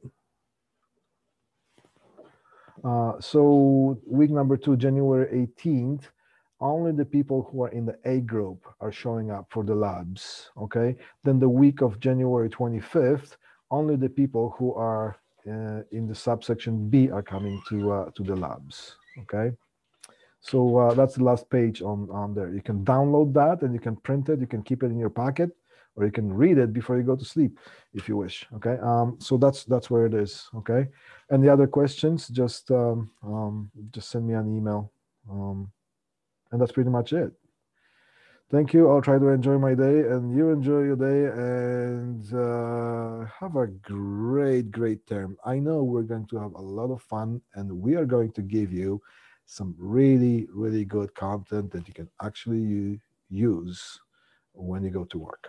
Okay, so that's it for this class. Thank you and have a good day.